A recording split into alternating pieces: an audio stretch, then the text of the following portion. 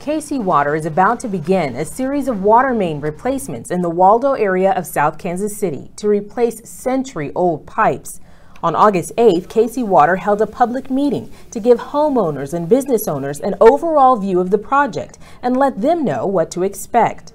Terry Thomas is one of the project managers. We're replacing at least 1% of our system per year. This particular project is a part of that overall program. And on this project, we're replacing 32,000 feet or roughly a little under six miles of our system. The Waldo Improvements Project is one of the largest water main replacement projects currently underway at KC Water. So this is a large chunk of our project and it happens to be in one of the more highly visible areas in our city. Only specific mains will be replaced in the general area described as State Line Road to Flora Avenue, about five blocks east of Troost, and from West 65th Street to East 81st Street.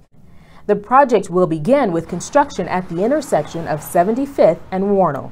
We're not only replacing our water distribution mains, but we're also replacing a very, very important transmission main in our system. It runs directly down 75th Street from State Line Road all the way to Troost. And this is very critical that we get this replaced so we can minimize future disruptions along this very busy street.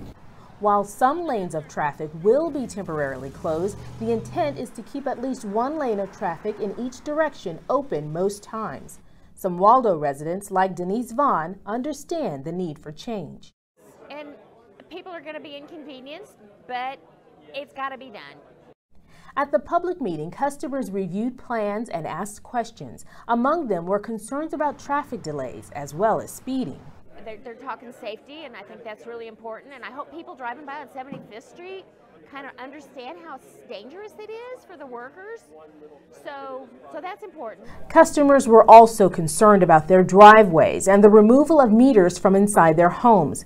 The contractor assigned to the project, Rodriguez Mechanical, assured them that notices would be sent on a regular basis to keep them informed of the schedule as well as water shutoffs. Hey, please be patient with us. Um, these construction is temporary, but when you get the long-lasting effects of that fresh drinking water, because we're fixing everything, you don't have to worry about your water being cut off in the middle of the day in the summer because the water main broke. Like that's the worst. So if we can fix that now, uh, and you be patient with all the dirt and construction just for a little bit, then you'll be satisfied in the long run.